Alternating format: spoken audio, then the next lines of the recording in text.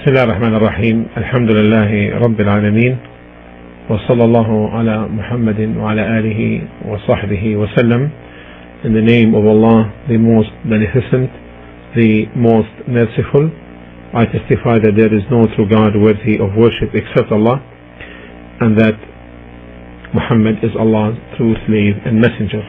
We continue the discussion of the book, the concise admonition.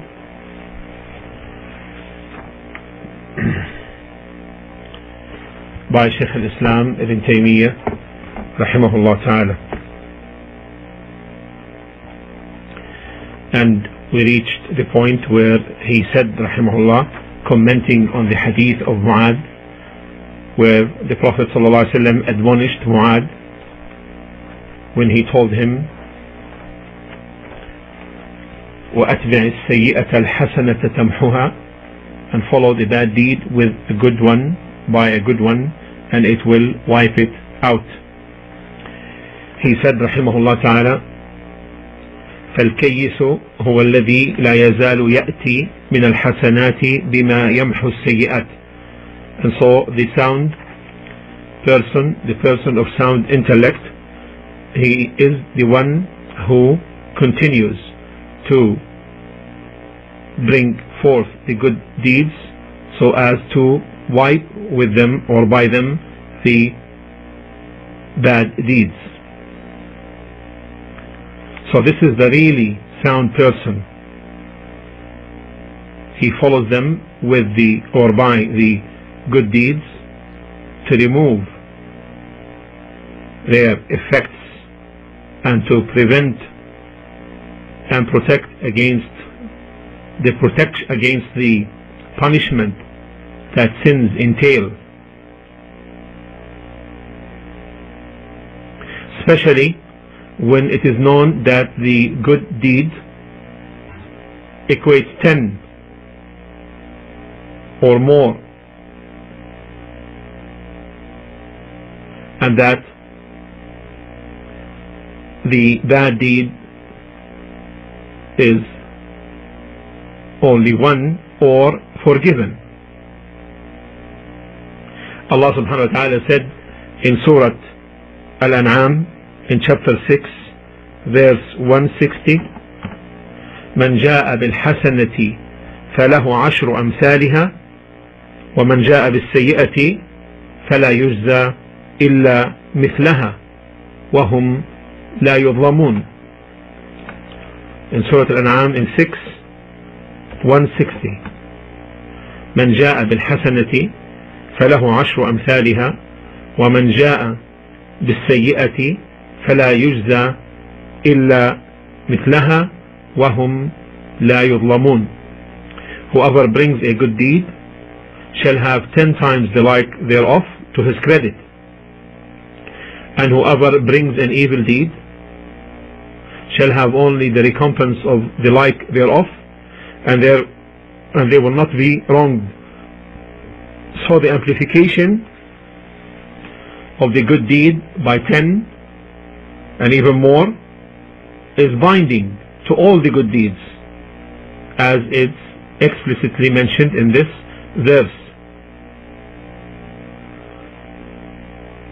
That it is tenfold ten times the like thereof in credit as to the amplification greater than this level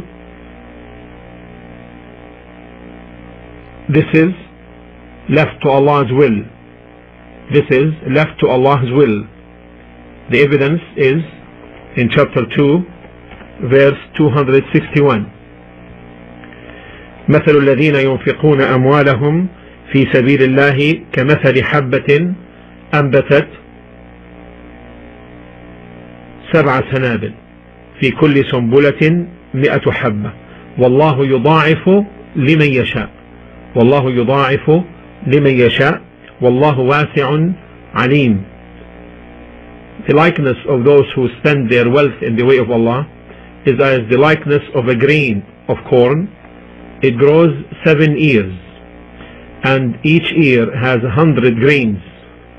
Allah gives manifold increase to whom He pleases, to whom He pleases. And Allah is all sufficient for His creatures' needs, and the All-Knower.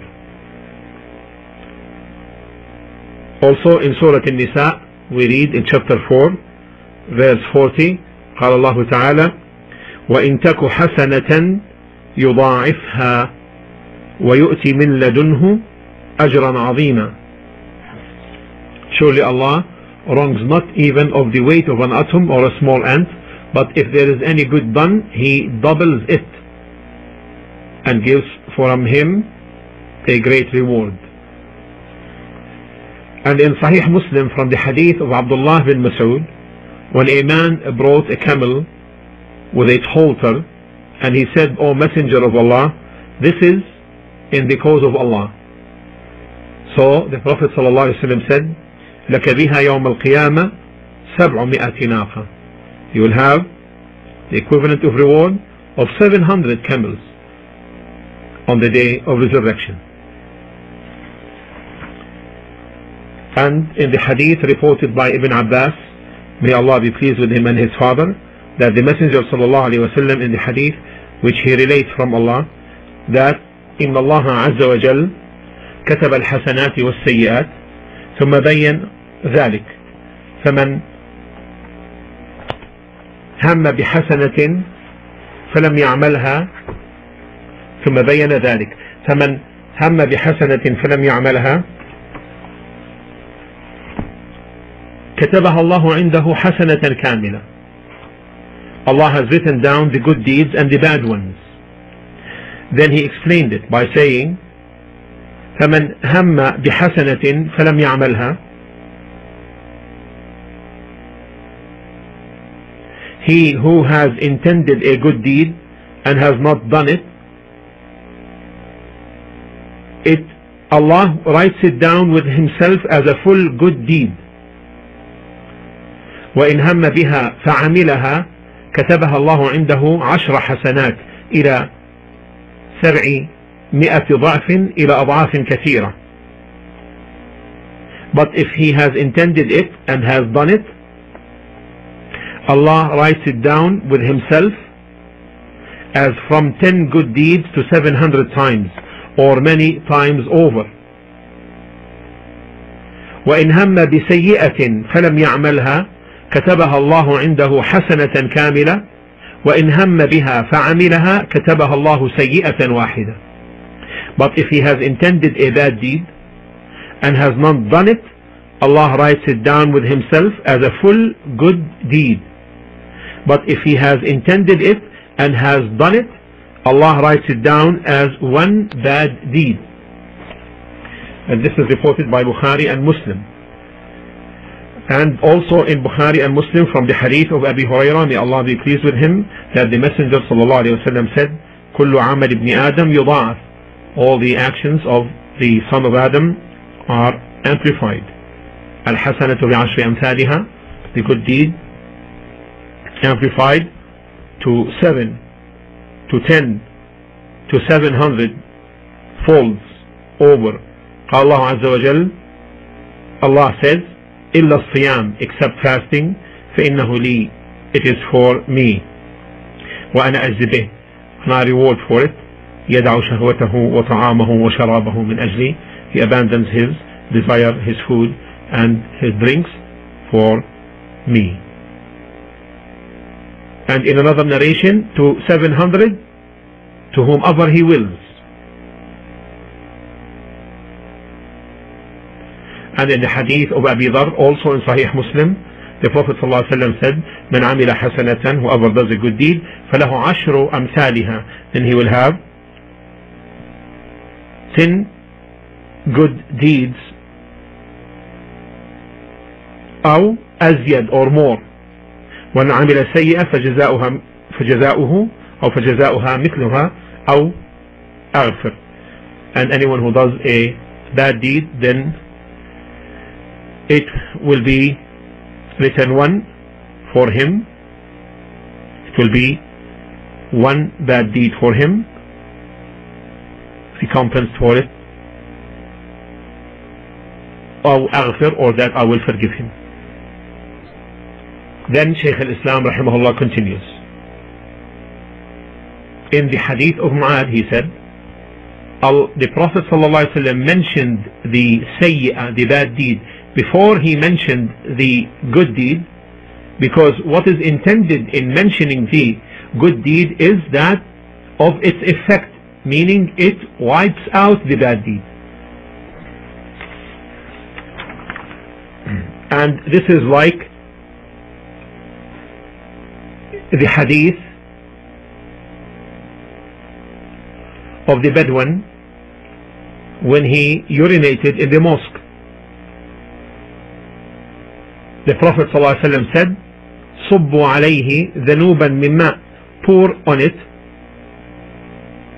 a bucket or tumbler of water and he used this Shaykh al-Islam indicating that pouring the water is not intended in itself but rather to remove the remains of the urine. To remove the remains of the urine. And that's why in the hadith of Mu'ad the sayyi'ah was introduced in this statement before the good deed. And the good deed is not intended in itself but as a wipe out effect to remove the bad deed and the hadith of the Bedouin is a famous hadith it is in Sahih al-Bukhari where Abu Huraira Abu Huraira may Allah be pleased with him said قال قام قام أعرابي a Bedouin stood up فبال في المسجد and he urinated in the mosque فتناوله, فتناوله الناس and people caught him grabbed him فقال لهم النبي عليه الصلاة والسلام the Prophet صلى الله عليه وسلم said to them دعوه leave him alone وهريقوا على بوله سجلا من ماء أو ذنوبا من ماء and pour on his urine a bucket of water or a tumbler of water let it pass over the urine فإنما بعثتم ميسرين verily you have been sent to make things easy ولم تبعثوا معسرين you have not been sent to make things difficult, difficult and this is a great hadith a great textual proof in the manners and etiquettes of dealing with that which is wrong. And then Shaykh al-Islam rahimahullah said, وينبغي أن تكون الحسنات من جنس السيئات. It should be known that the good deeds be from the same kind of the bad deeds. فإنه أبلغ في المحو since this would be more assertive in wiping out. what does this mean? It means, for example, of the same kind. If someone backbites someone, mentions him in bad ways,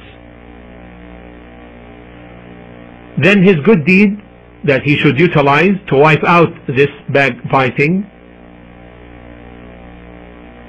is to mention him in goodness in the same way as he mentioned him in bad way another example someone spreading mischief amongst people this is a bad deed the good deed of its kind is to regret and correct what he had corrupted. Third example.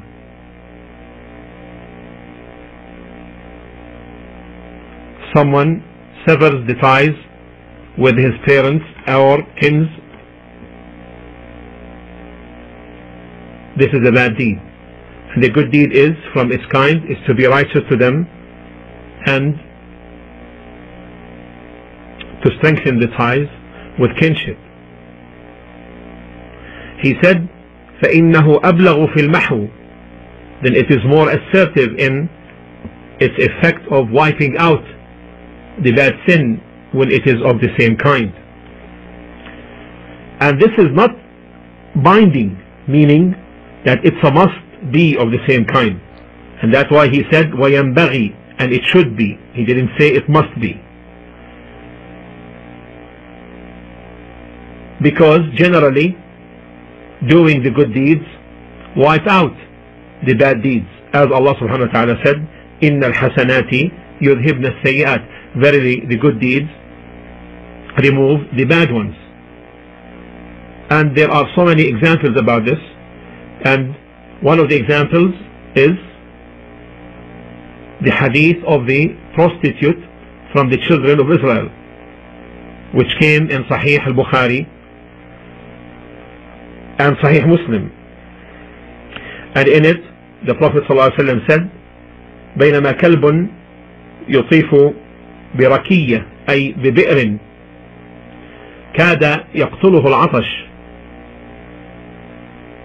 إذ رأته بغي من بني إسرائيل من بغايا بني إسرائيل فنزعت موقها أي خفها واستقت له به فسقته إياه فغفر لها به. A prostitute from the prostitutes of the children of Israel passed by a panting dog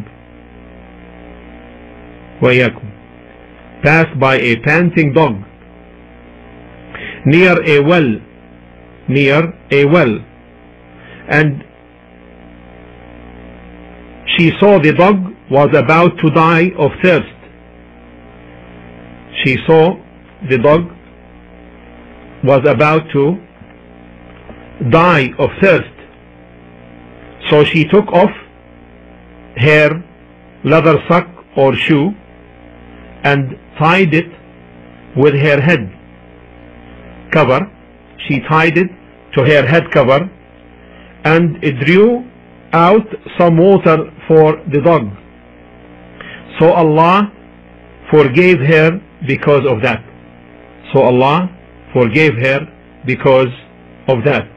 So now contemplate how the wiping of the sin is not of the same kind because doing goodness to the dog is not from the kind of adultery and prostitution she was committing and the examples on this are many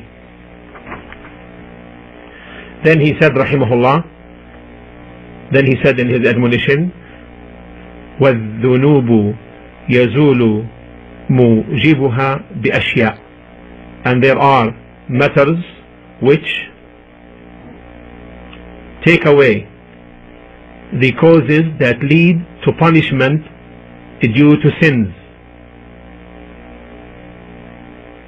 because we know that punishment or sins entail punishment in hellfire and that the sinner is under the threat of punishment. But there are causes that repel the punishment and nullify the threat and pacify the threat. These causes are known as impediments hindering the threat execution. These are called impediments hindering the threat execution and punishment. And they are ten. These causes are ten. Deducted from the book and the sunnah.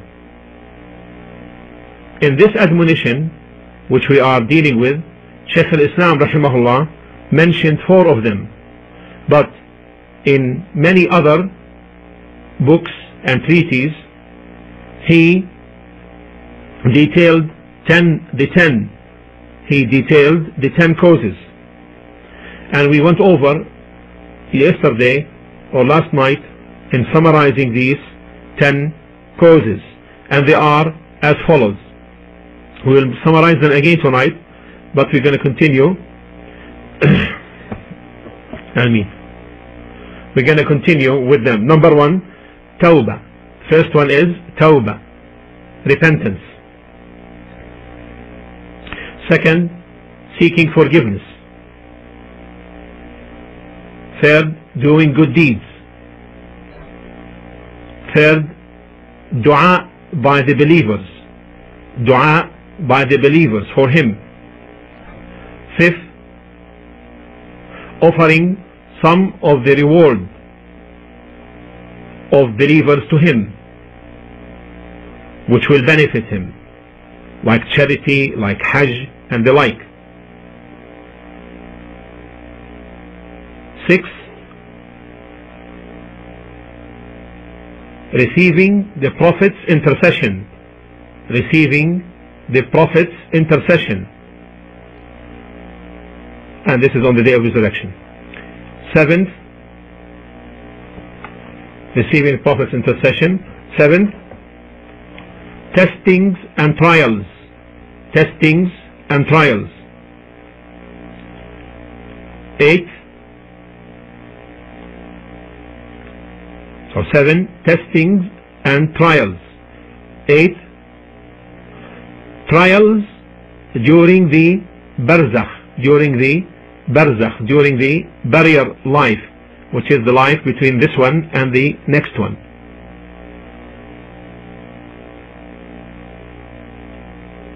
Nine, testings during the horrors of the day of resurrection. Testings and trials during the horrors of the day of resurrection, which all will mount to expiating his sins. And the tenth, receiving Allah's mercy, or that Allah forgives him, receiving his mercy.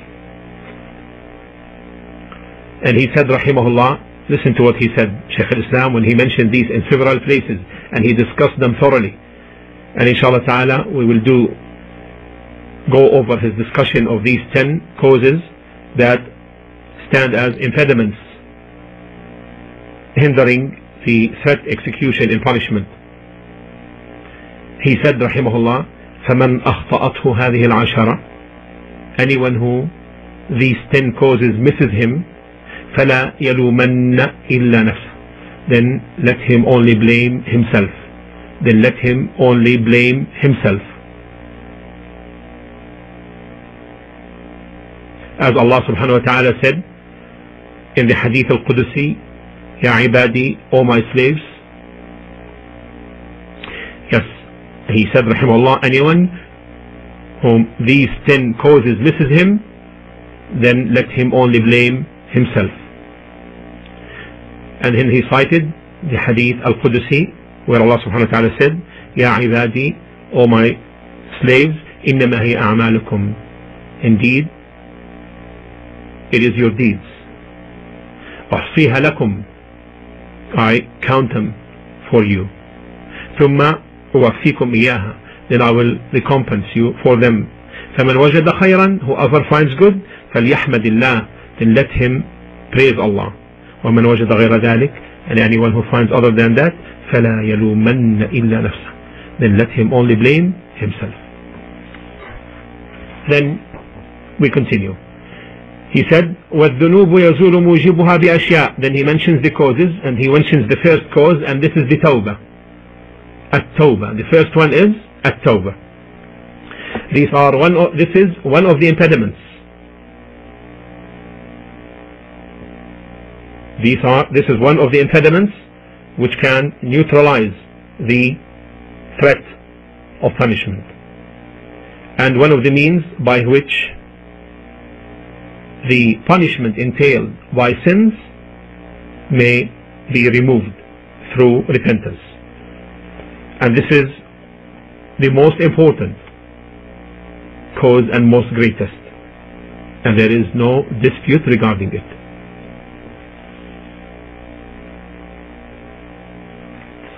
Shaykh al-Islam rahimahullah, he said, the textual proofs from the Quran and the Sunnah indicate that the punishment on sins can be removed by ten causes and one of them is at-tawbah and then he added وَهَذَا مُتَّفَقٌ عَلَيْهِ بَيْنَ الْمُسْلِمِينَ and this is a matter agreed upon by Muslims.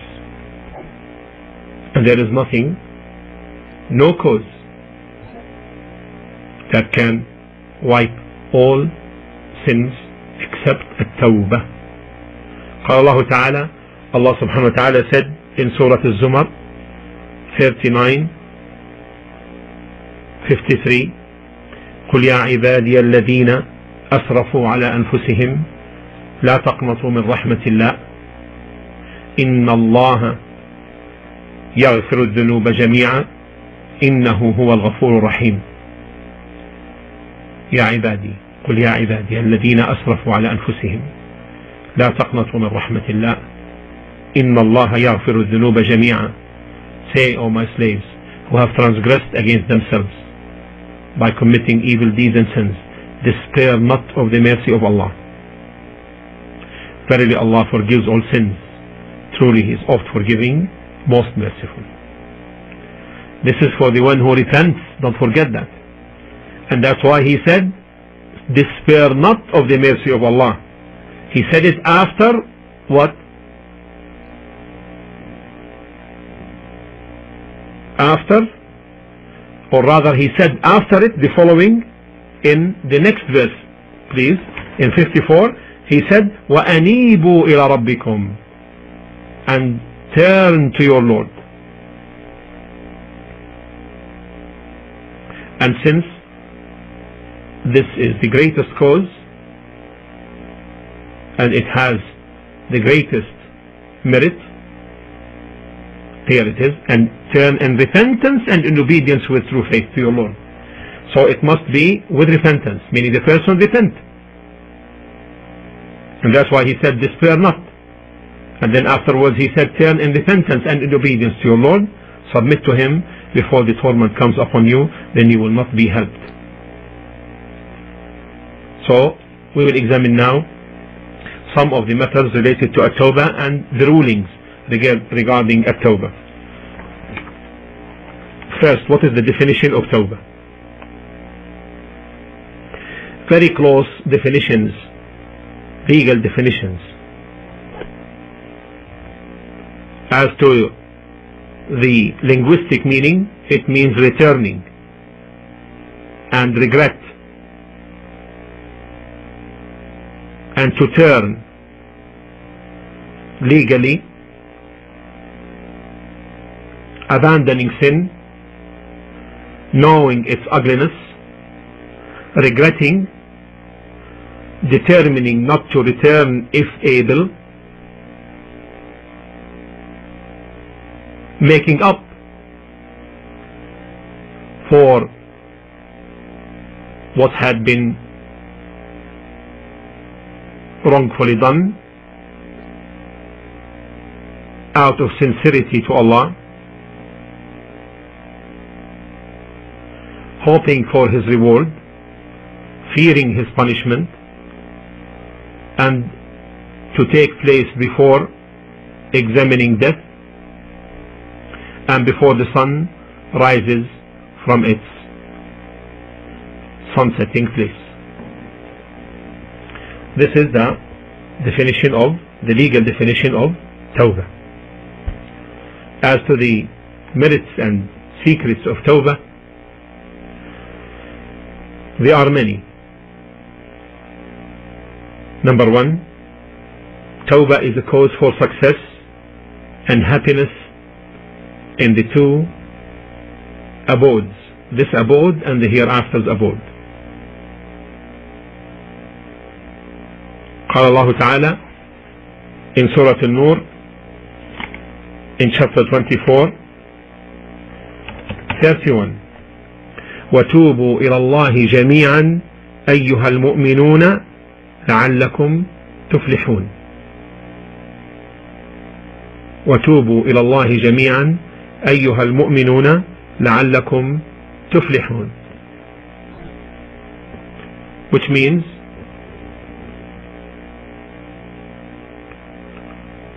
and turn to Allah in repentance all you believers. لعلكم تفلحون so that you may attain success and be successful Secondly, التوبة التوبة تكفر السيئات expiate sins so if the slave of Allah truly repents to him Allah will expiate all of his sins الله سبحانه وتعالى سد إن سورة التحريم. يا أيها الذين آمنوا أوه يبليب توبوا إلى الله توبة نصيحة نصوحة. Defend to Allah in sincerity and truly. عسى ربكم أن يكثر عنكم سيئاتكم. Allah will forgive you your sins. ويدخلكم جنات تجري من تحتها الأنهار and that he will admit you to gardens under which rivers flow in paradise in Surah Al-Tahrim verse 8 thirdly التوبة changes bad deeds into good deeds التوبة changes bad deeds into good deeds if the tawbah is, co is correct Allah will change the bad deeds into good ones for the one who truly and sincerely repents. Allah stated this in Surah Al-Furqan in Surah Al-Furqan 25 70 in Surah Al-Furqan 25:70 Allah says إلا من تاب وآمن وعمل عملا صالحا فأولئك يبدل الله سيئاتهم حسنات وكان الله غفورا رحيما except those who repent and believe in Tawheed and do righteous deeds for those Allah will change their sins into good deeds and Allah is oft forgiving most merciful Imam Ibn al-Qayyim rahimahullah said وهذا من أعظم البشارة للتائبين and this is one this is of the greatest glad tidings to those who repent if إذا اقترن بتوبتهم إيمان وعمل صالح if there goes with their tawbah iman they have faith in Allah subhanahu wa ta'ala and righteous deeds and he said وهو حقيقة التوبة and this is the reality of tawbah Ibn Abbas may Allah be pleased with him and his father said ما رأيت النبي صلى الله عليه وسلم فرح بشيء قط فرحه بهذه الآية لما أنزلت I haven't seen the Prophet ﷺ so pleased with something as this verse when it was revealed meaning this verse which we recited now except those who repent and believe and do righteous deeds. For those Allah will change their sins into good deeds and Allah is oft forgiving. Then Ibn Abbas added and as well in his pleasure upon the revealing of Surah Al-Fath of Surah Al-Fath yes I haven't seen the Prophet ﷺ pleased with someone as this verse with with anything as his pleasure with this verse when it was revealed as well as in his pleasure with the revelation of Surah Al-Fath إنا فتحنا لك فتحا مبينا ليغفر الله ما تقدم من ذنبك وما تأخر so this will be 48 verses 1 and 2 fourth Allah loves tawbah and those who repent قال الله تعالى in Surah Al-Baqarah here is the verse verily we have given you Muhammad a manifest victory that will that Allah may forgive you your sins of the past and of the future and complete his favor on you and guide you to the straight path fourthly Allah loves tawbah and those who repent Allah said in Surah Al-Baqarah in 2, 2, 2, 2 إن الله يحب التوابين ويحب المتطهرين إن الله يحب التوابين ويحب المتطهرين Truly Allah loves those who turn unto Him in repentance and love those who purify themselves. Fifth, Allah subhanahu wa ta'ala is pleased with the repentance of those who repent. And this pleasure was not made in any regarding any any of the acts of obedience except tawbah. It was not mentioned regarding any kind of repentance except in the case of tawbah. And this has a profound effect on the one who repents and his heart. The Prophet ﷺ mentioned this situation of Allah's pleasure in the hadith reported by Al-Bukhari and Muslim. And in this hadith, Abdullah bin Mas'ud radiallahu ta'ala anhu narrated, he related to us two narrations, one from the Prophet ﷺ and the other from himself, saying, a believer sees his sins as if he were sitting under a mountain, which he is afraid may fall on him. Whereas the wicked, the evil doer, the fajir, considers his sins as flies, as flies passing over his nose, and he just drives them away like this. And then the sub-narrator, Abu Shihab, moved his hand over his nose in illustration. Ibn Mas'ud added, Allah's Messenger ﷺ said, Allah is more pleased with the repentance of his slave than a man who encampers at a place where his life is jeopardized, but he has his riding animal carrying his food and water.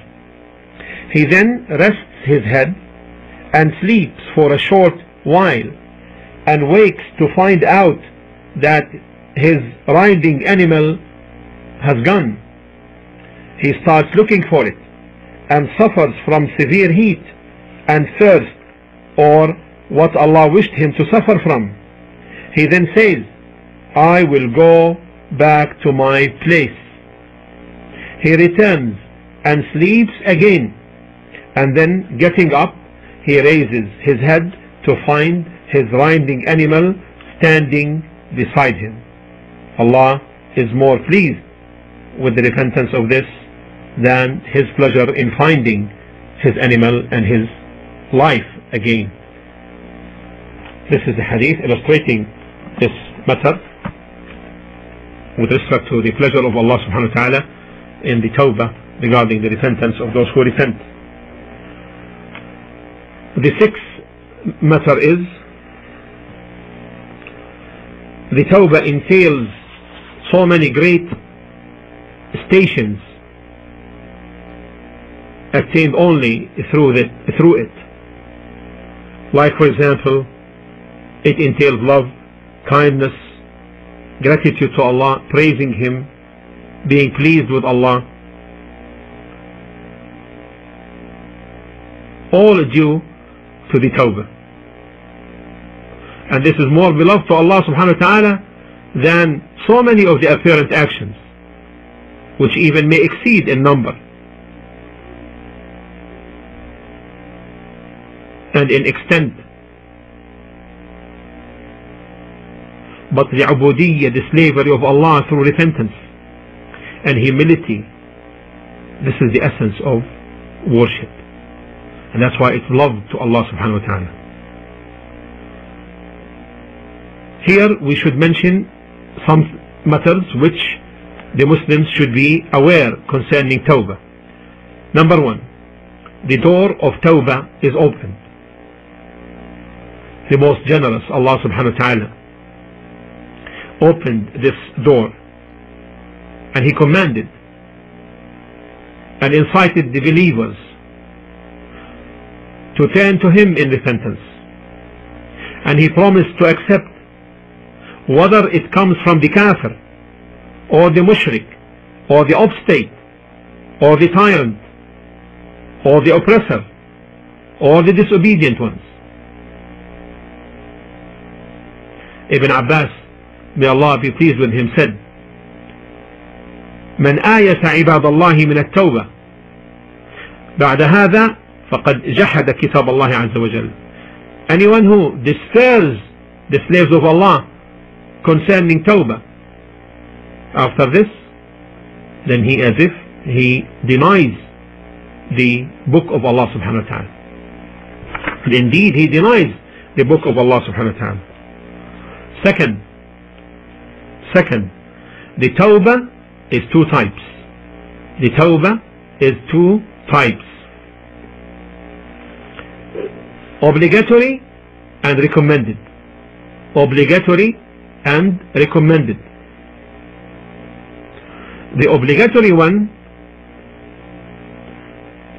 is from unlawful deeds from committing unlawful deeds or abandoning the obligatory ones. So this is the first one the obligatory tawbah. And it the obligatory one is from unlawful deeds or abandoning the obligatory ones. Abandoning what is obligatory the recommended one is from disliked is doing disliked things makruh or and rather abandoning recommended deeds. And abandoning recommended deeds. So this is the second one which is the recommended tawbah. From doing disliked things or abandoning recommended deeds. And the one who takes by the obligatory one he is from the righteous. And the one who takes both he is from those who are hastening to good. He are from those who are hastening to good and the one who does not bring the first one then he is from the wrongdoers. Either kafir or rebellion.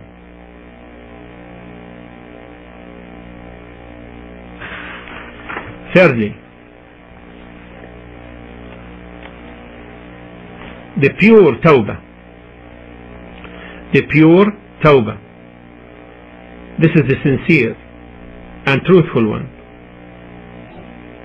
this is the sincere the sincere tawbah عليكم السلام ورحمة الله تعالى وبركاته the truthful one free from impurities and defects and this one is the one which covers all sins and this is the one which covers all sins leaving none except that it deals with it. The pure tawbah and it is the one built upon determination truthfulness without hesitation without waiting without hesitation waiting shaking. No firmness. And it occurs due to mere awe and fear and love and hope and yearning to what is with Allah and fearing his wrath and punishment. The one who suffices these matters the one whose condition of tawbah is like this all of his sins will be forgiven. And when it is like this, Allah will change his bad deeds into good ones. This is a tawbah nasuh, the pure tawbah. The second tawbah is, the second one, or the fourth rather, the fourth matter, is a tawbah al-khassa, the special tawbah, a particular one. And this is whereby the person repents from some sins while insisting on doing others while insisting on doing other things. Like the one who repents from let's say uh, theft while insisting on drinking alcoholic beverages and the like. This is a particular tawbah this is a particular and special one. And its ruling that it is correct in that which he repented from as long as he does not insist on another sin of the same kind. And he is still on the origin of Iman. That he still have Iman within him. So every sin has its own particular tawbah. So a person may be repenting from one angle and still doing other things so he's not in this case as in the former case where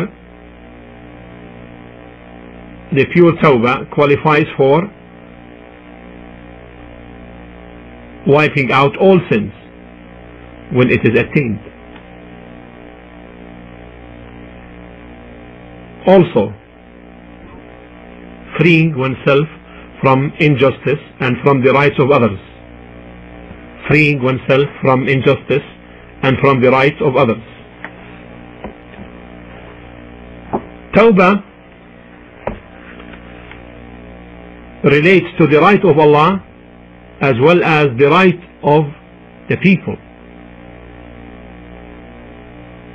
As to the right of Allah, the person repents, and this is a matter between him and Allah, as explained earlier. As to the other one, where there are, there are some rights to some people, then he should relieve himself from this and give the rights to those who deserve them. But suppose he is unable. A person cannot reach these people. And even he cannot reach their inheritors if they died. Then he can offer these rights as charity on their behalf.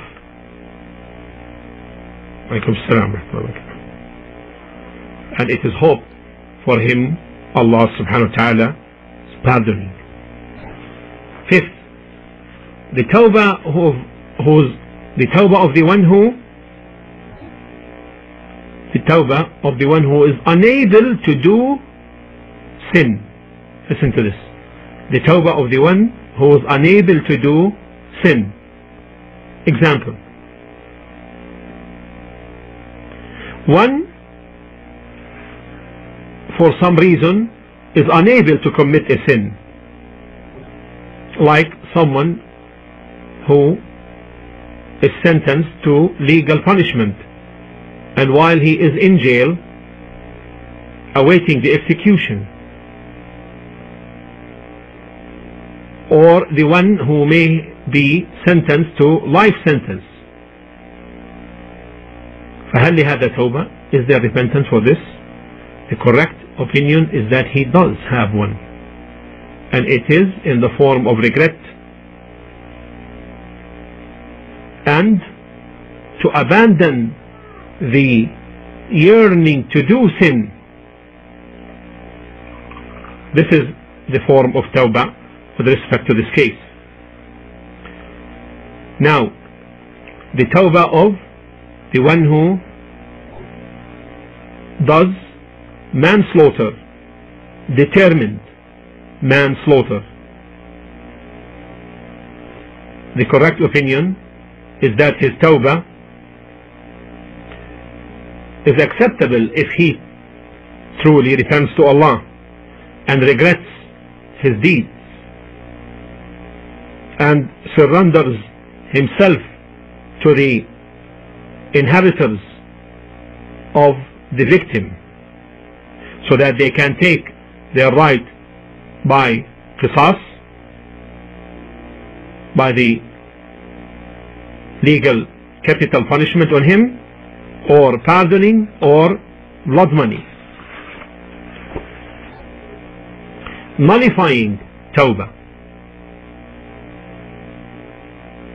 this is like a person who repents then comes again and do the same sin. In this case he nullified the tawbah and it is binding upon him to renew it.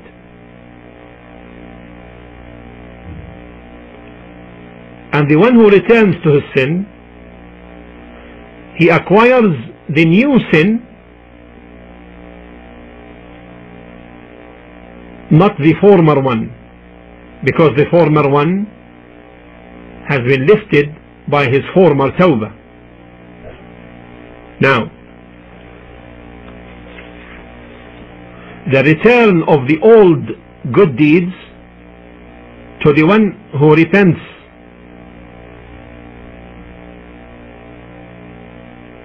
example. Someone has good deeds then he did bad ones which consumed his former good deeds and nullified them. Then after that he made a sincere pure tawbah. Then his old good deeds returned to him. Because the bad between the two acts of obedience has been lifted by his sincere tawbah as if they don't exist. And the two obediences now converge. The return of the one who repents to his former good state before sinning. A person may have a good rank and good condition with Allah this may be removed because of the sin he may have committed. Then afterwards he repents. Would he return to the same good old condition or not? Or to a lower rank or to a better one? The answer some of the people who repent return to their similar old state and some return to a better one and some return to even lower one.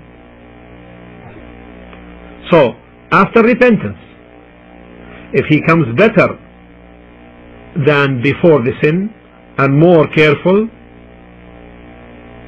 and more humble and more in awe then he will return to a higher degree. And if before committing the sin he was best in these matters and did not return to them after his tawbah then in this case his case diminishes. And if his situation before and after now nullifying tawbah. This is like a person who repents then comes again and do the same sin. In this case he nullified the tawbah and it is binding upon him to renew it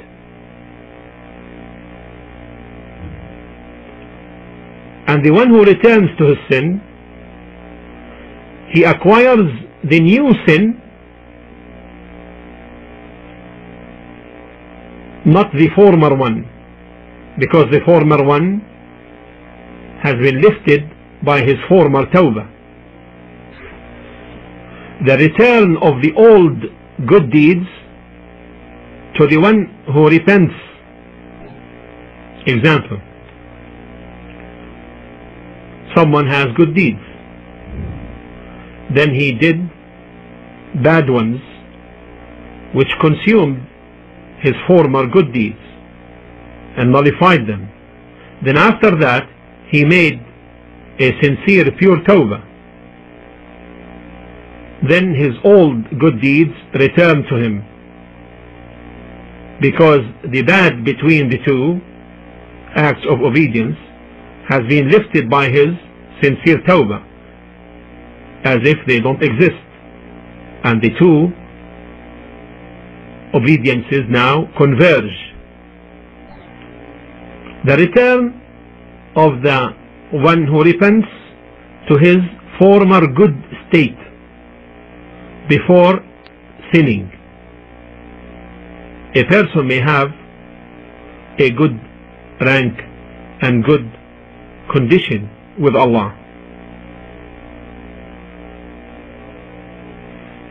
This may be removed because of the sin he may have committed. Then afterwards he repents. Would he return to the same good old condition or not? Or to a lower rank or to a better one? The answer some of the people who repent return to their similar old state and some return to a better one and some return to even lower one. So after repentance if he comes better than before the sin and more careful and more humble and more in awe then he will return to, and to a higher degree. And if before committing the sin he was best in these matters and did not return to them after his tawbah then in this case his case diminishes. And if his situation before and after is the same then he returns to his rank. All of these things had been preponderated by Shaykh al-Islam Ibn Taymiyyah rahimahullah. And now we move to mistakes of people regarding tawbah. Mistakes of people regarding tawbah.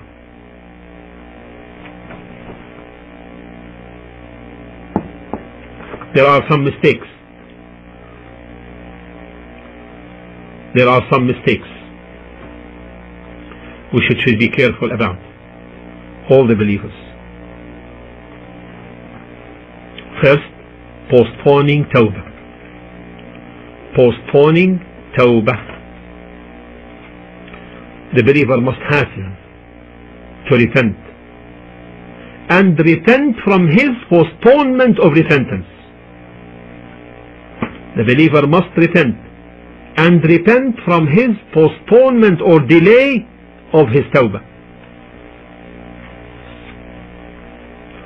Second problem. Heedlessness about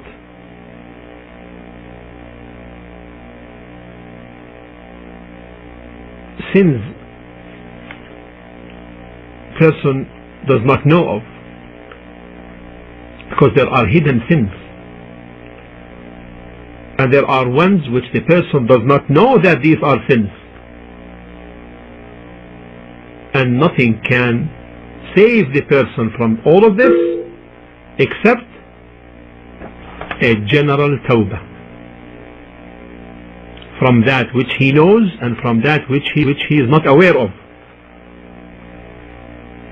and that's what the Prophet ﷺ said الشرك في هذه الأمة أخفى من دبيب النمل the shirk in this ummah is more hidden than the footsteps of the ant.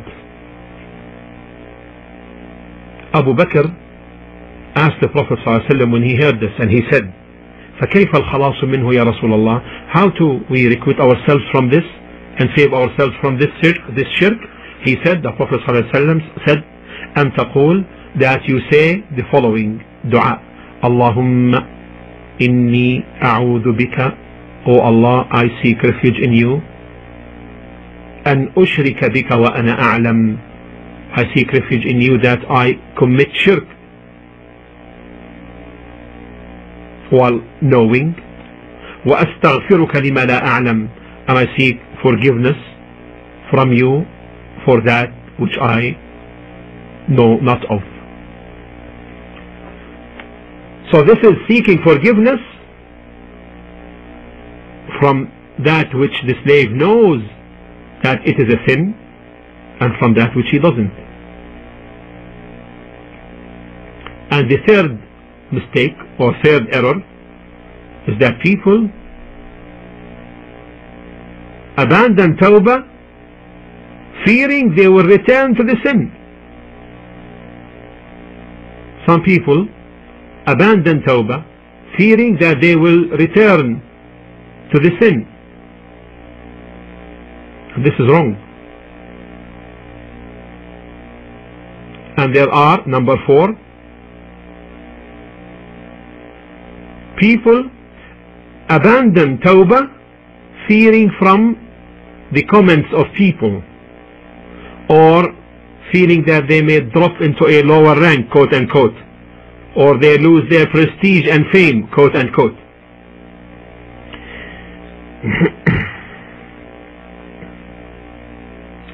and from the mistakes is exceeding the limits in sin depending on the vast mercy of Allah.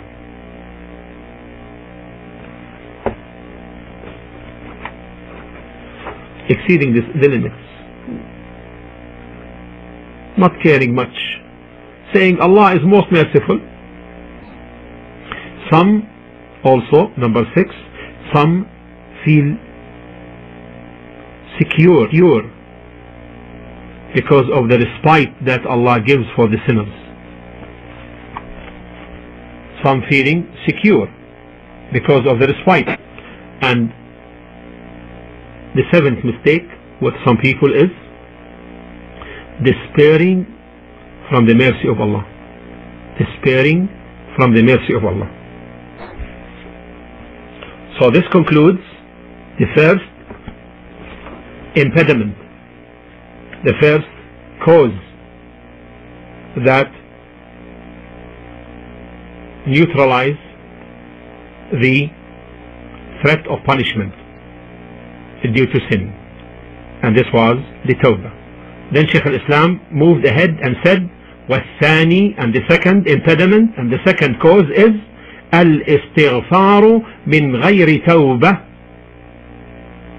استغفار seeking forgiveness without repenting seeking forgiveness without repenting because Allah subhanahu wa ta'ala may under, underline the word may because Allah may forgive him by answering his invocation even though he may not repent. Even though he may not repent. So this is the second type seeking forgiveness without repentance. The seeking of forgiveness. Forgiveness is al-istighfar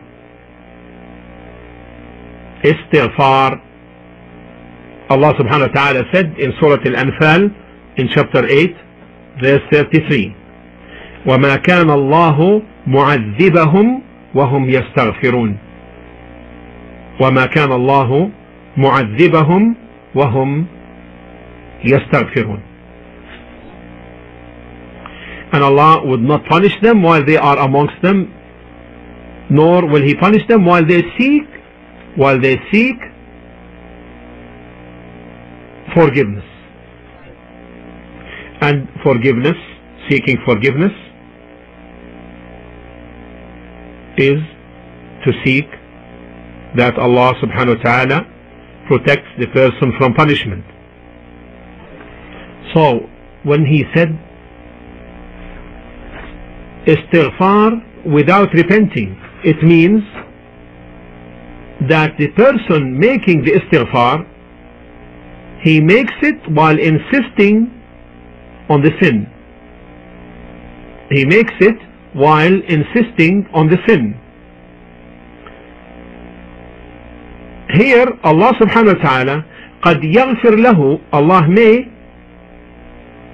forgive him in response to his invocation even though he may not repent so in this way the punishment entailed by sin may be lifted although this person may be insisting in his heart on the sin because istighfar is just like the other dua it is a dua it is a form of dua a form of invocation والدعاء قد يجاب إذا توافرت أسبابه and the dua may be answered when its conditions are met وقد لا يجاب and it may not also be answered so now we know the istighfar therefore is an independent impediment and similarly the tawbah is an independent one and the evidences on this are many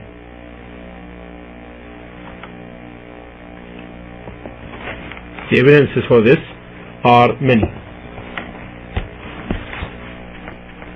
and from them is the hadith reported by Tirmidhi from the way of Anas ibn Malik may Allah be pleased with him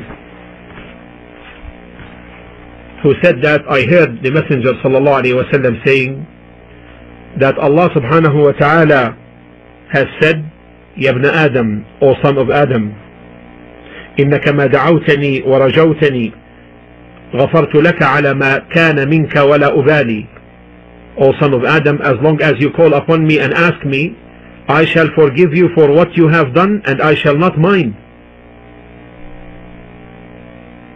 يا ابن آدم لو بلغت ذنوبك عنان السماء O son of Adam were your sins to reach the clouds of the sky ثم استغفرتني and were you then to ask forgiveness of me غفرت لك I would forgive you يا ابن آدم O son of Adam were you to come to me with sins nearly as great as the earth إنك لو أتيتني بقراب الأرض خطايا ثم لقيتني لا تشرك بي شيئا لأتيتك بقرابها مغفرة O son of Adam were you to come to me with sins nearly as great as the earth and were you then to face me ascribing no partner to me I would bring you forgiveness nearly as great as it At-Tirmidhi reported this hadith rahimahullah and he said hadithun hasanun sahih it's a good and sound hadith and Imam bin Rajab rahimahullah said ومجرد قول القائل اللهم اغفر لي طلب منه للمغفرة the mere utterance of the person sinning Allahumma gfirli, or Allah forgive me, is asking forgiveness. And this is an invocation. And the ruling on it is just like the rest of dua. Of dua. If Allah wish, He may respond and forgive the sinner. Especially if it comes from someone whose heart is broken because of his sin. Or it meets one of the times of response where Allah responds like in the early or late night times and after the prayer times. The end, the end of Ibn Rajab's comment rahimahullah.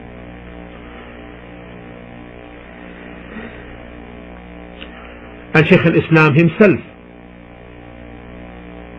when he spoke about the impediments, the ten impediments he said the second one al-istighfar the seeking of forgiveness as reported and then he cited the following hadith in As-Sahihain in Bukhari and Muslim that the Prophet ﷺ said أذنب عبد ذنبا فقال أي رب a slave committed a sin he said oh my Lord أذنبت ذنبا فاغفر لي I committed a sin so forgive me فقال so Allah says علم عبدي my slave knew أن له ربا يغفر الذنب that he has a Lord who forgives sins ويأخذ به and he takes by it as well قد غفرت لعبدي I forgive my slave ثم أذنب ذنبا آخر then he commits another one and he said the same أي رب oh my Lord أذنبت ذنبا آخر I commit another one I committed another one فاغفره لي forgive me Allah says the same علم عبدي my slave knew that he has a Lord who forgives and takes the sin and takes by sins قد غفرت لعبدي I forgave my sin فليفعل ما شاء let him do what he wants he said this in the third and in the fourth time and in Sahih Muslim then Shaykh al-Islam cited the following hadith in Sahih Muslim لو لم تذنبوا if you will not to commit sin لذهب الله بكم Allah will take you away ولجاء بقوم يذنبون and he will bring others who sin ثم يستغفرون then they seek forgiveness فيغفر لهم and they will be forgiven this is a manifestation for Allah's names and attributes and this is a matter which we will talk about independently inshallah on a second occasion and that is the wisdom behind sending Adam to earth that will be another subject inshallah then Shaykh al-Islam added فإذا اجتمعت التوبة والاستغفار فهو الكمال if tawbah and istighfar are combined come together then this is the perfection this is the perfect state state and this is the perfect state. So if the slave repents and abandons the sins in his heart and on his limbs and seek forgiveness from his Lord by his tongue without insisting on the sins this is the perfect action. And this is the perfection by which the person attains the utmost of happiness and success and the closeness to Allah the Most High. From this we know now from the words of Shaykh al-Islam we know that the tawbah and istighfar are not entirely linked. Are not entirely linked covering all occasions or stations or conditions. Because one of them may exist without the other. Similarly there are differences between them which makes each distinct from the other. And now therefore what is the difference between at-tawbah and istighfar? What is the difference between at-tawbah repentance and istighfar seeking forgiveness? They differ in the meaning which we discussed earlier istighfar meaning seeking forgiveness and it's a dua. Tawbah is determination regret sorrow not to return all that which we discussed earlier. Second istighfar could take place while insisting on the sin. While repentance there must be abandonment cease and ترك الإصرار relinquishing insistence on the sin third repentance is accepted and wipes sins and may change the sins into good ones if the tawbah is pure istighfar is just dua like the other du'as like all other invocation it may be accepted and it may not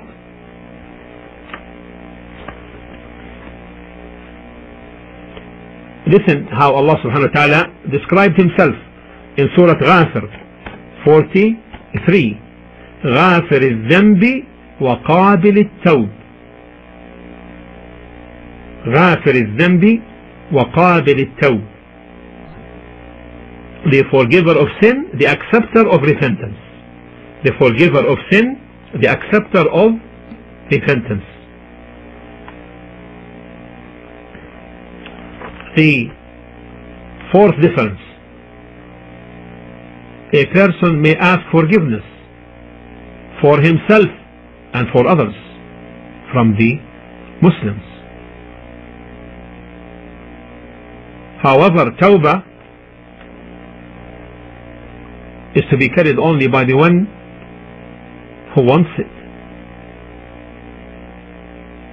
No one is to repent for another. No one is to repent for another.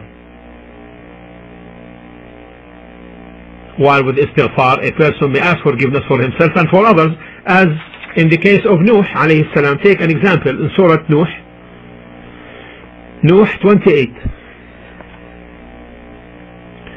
سورة نوح 28 رب اغفر لي ولوالدي ولمن دخل بيتي مؤمنا وللمؤمنين والمؤمنات. O oh Allah forgive me and my parents.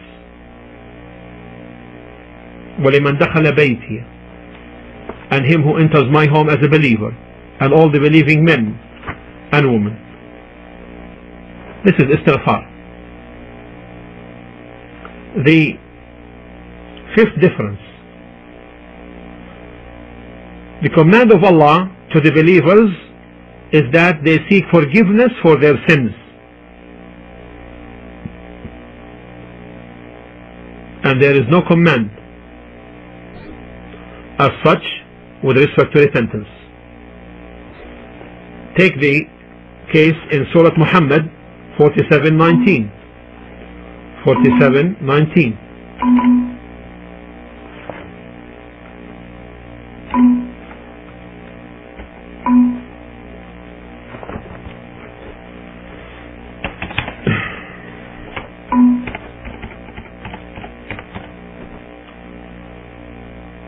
know that La ilaha illallah and ask forgiveness for your sins and also for the believing men and believing women. A.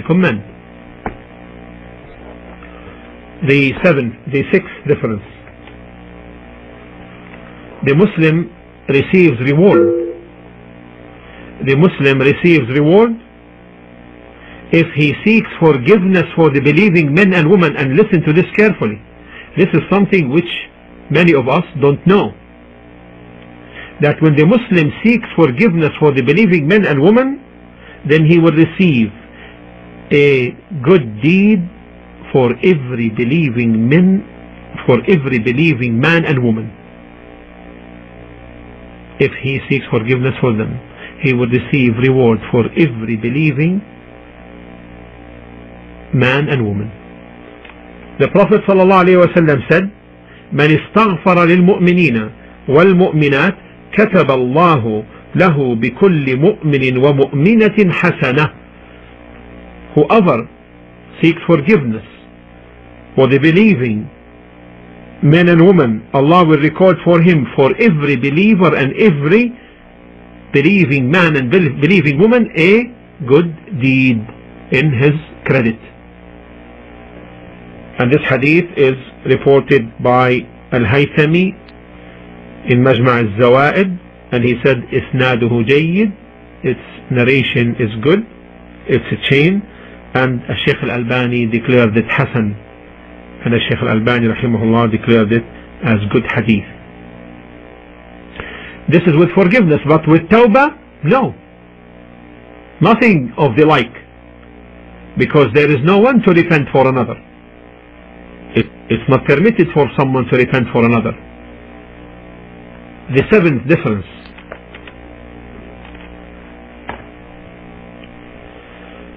the angels يستغفرون للذين آمنوا seek forgiveness for the believers the angels عليهم السلام يستغفرون للذين آمنوا seek forgiveness for the believers ولم يأتي there is no evidence أنهم يتوبون عنهم that they repent on their behalf because of what we said earlier no one repents on the behalf of another قال الله تعالى about the angels forgiveness seeking forgiveness in Surah Ghafir 47 الذين يحملون العرش ومن حوله يسبحون بحمد ربهم ويؤمنون به ويستغفرون للذين آمنوا رب ربنا وسعت كل شيء رحمة وعلما فاغفر للذين تابوا واتبعوا سبيلك وقهم عذاب الجحيم Those angels who bear the throne of Allah and those who around it glorify the praises of their Lord and believe in Him and ask forgiveness for those who believe saying Rabbana, our Lord, you comprehend all things in mercy and knowledge, so forgive those who repent and follow your way and save them from the torment of the blazing fire. None of that is done with respect to repentance from the side of the angels for anyone. The eighth difference Tawbah time for Tawbah ends when the person examines death he cannot repent. He cannot repent then. As to forgiveness as to forgiveness a person in the course of death or even after death or alive he may receive forgi forgiveness he may receive forgiveness. Someone asking Allah for his forgiveness. Because remember forgiveness is dua. The ninth difference. The times of forgiveness are general and restricted. The times of difference uh, the times for istighfar are general and restricted general anytime a person seeks forgiveness anytime there are restricted times also like in the sitting positions between the prostrations in salah when the believer says رب اغفر لي oh Allah forgive me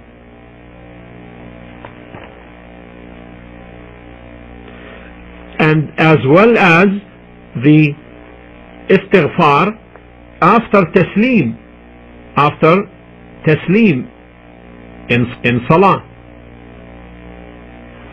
And like istighfar the late night hours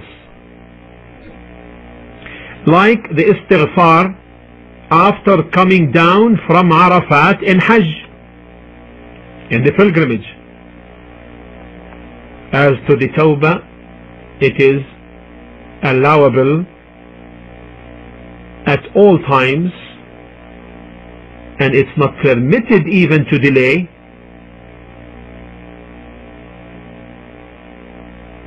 It is permitted at all times ex except when the person, person examines death or the sun and or the sun rises from the west. 11th the 11th difference or it's the 10th difference rather. 10th difference I'm sorry. When independently mentioned when independently mentioned then each comprises the other when independently mentioned then each comprises the other meaning if you mention istighfar independently in any context then that includes tawbah then that includes tawbah. And if tawbah is mentioned independently, it includes istighfar. So each enters the other when they are mentioned independently. The eleventh difference. If they are mentioned together, they diverge. If they are mentioned together, they diverge. Like the example is in Surah Hud. Take an example in Surah Hud 11 3 الله تعالى وأن استغفروا ربكم ثم توبوا إليه both are mentioned now وأن استغفروا ربكم ثم توبوا إليه and commanding you seek forgiveness of your Lord and turn to him in repentance in this case the istighfar seeking forgiveness is to seek protection of an evil that passed and the repentance means return and seeking protection of evil feared in the future. The twelfth difference when they are mentioned together istighfar denotes seeking forgiveness by the tongue while repentance denotes ceasing to do the sin in the heart as well as on the limbs. Abandonment of sin on the heart and, and, and on the limbs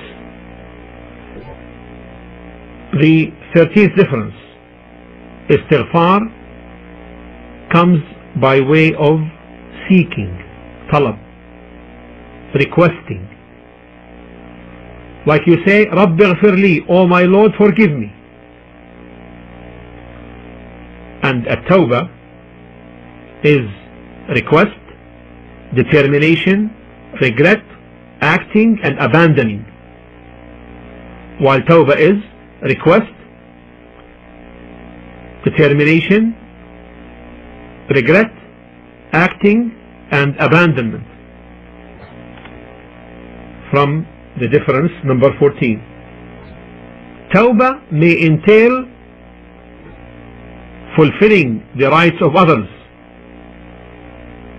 and relieving oneself of injustice done to others istighfar is just dua like other dua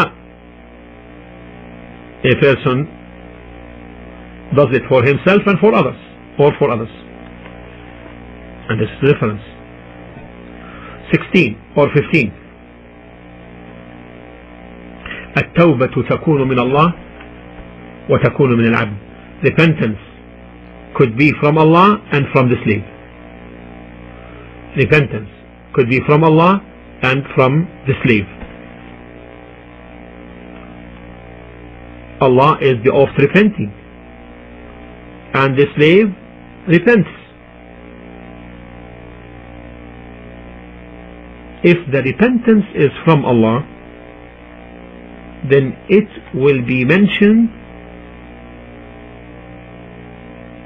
or it will be followed by the article ala if the repentance is from Allah it will be followed in the statement by the article ala upon by the article ala upon.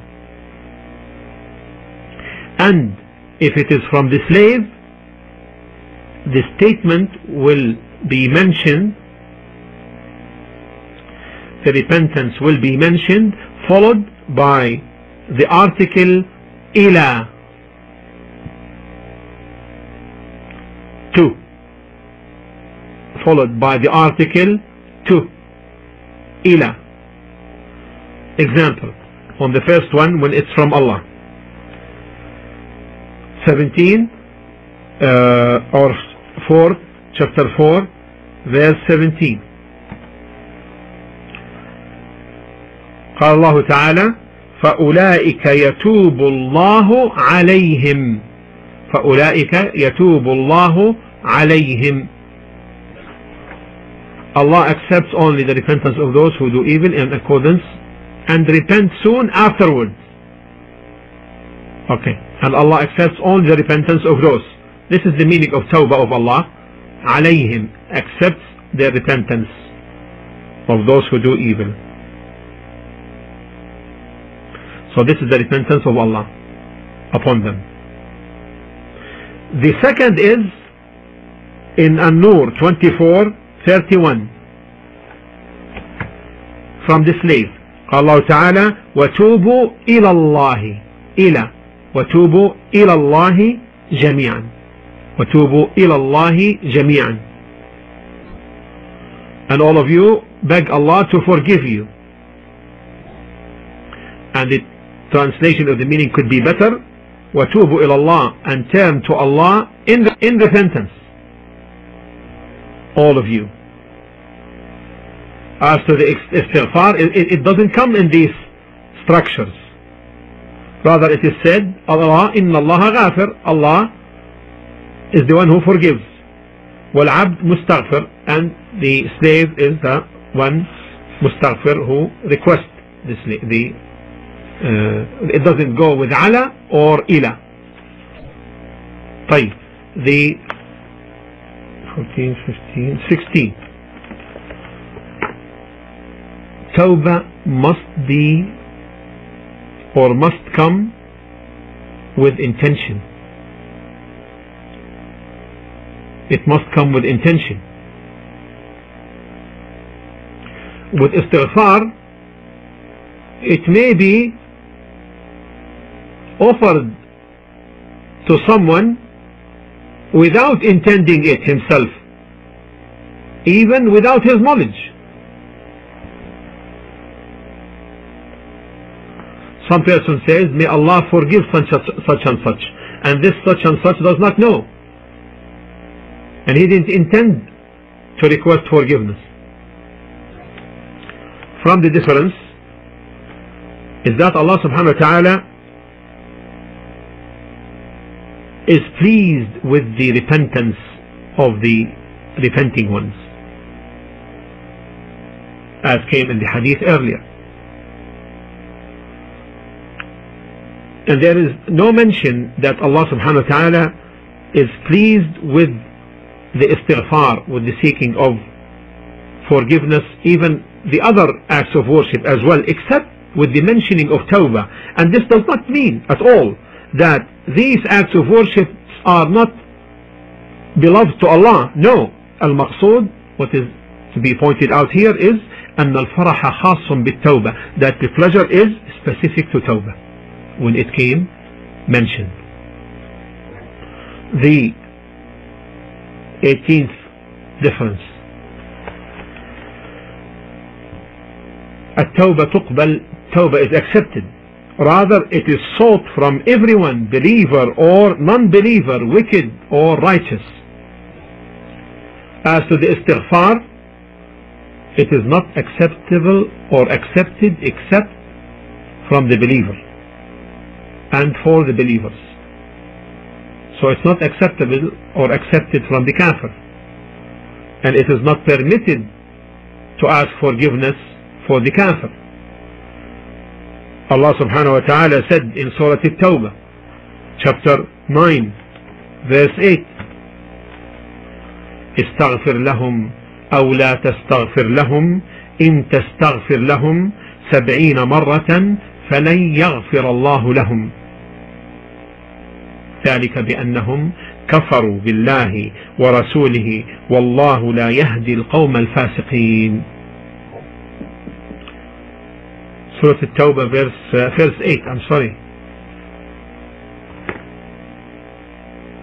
80 80 أوكي uh, okay. uh, no sorry. 80 فيرس 8 استغفر لهم أو لا تستغفر لهم. إن تستغفر لهم 70 مرة فلن يغفر الله لهم. Whether you ask for whether you ask forgiveness for them the hypocrites or ask not forgiveness for them and even if you ask 70 times for their forgiveness Allah will not forgive them because they have disbelieved in Allah and His Messenger and Allah guides not those people who are fasiqeen rebellion and disobedience to Allah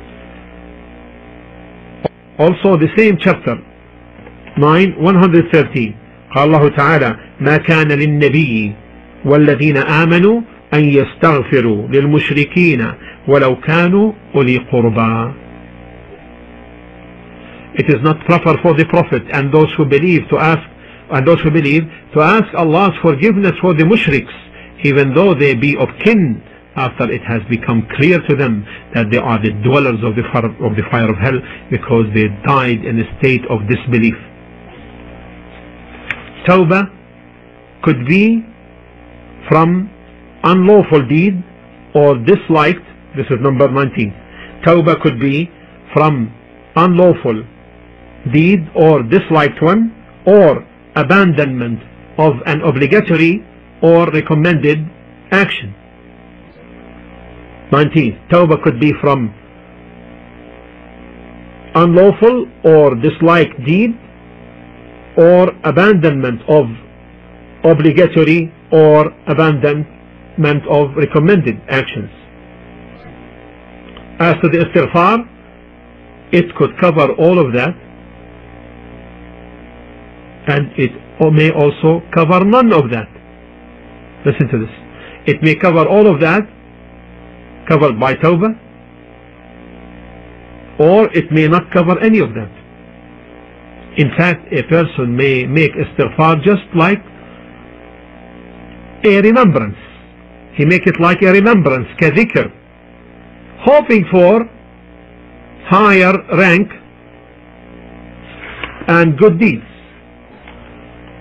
So these are some of the differences between the Tawbah and Istighfar. We stop here inshallah ta'ala and tomorrow inshallah we will mention what are the best statements and dua for istighfar and what are the merits of istighfar while we continue the discussion of Shaykh al-Islam's Ibn Taymiyyah's the concise admonition والحمد لله رب العالمين وصلى الله على محمد وعلى آله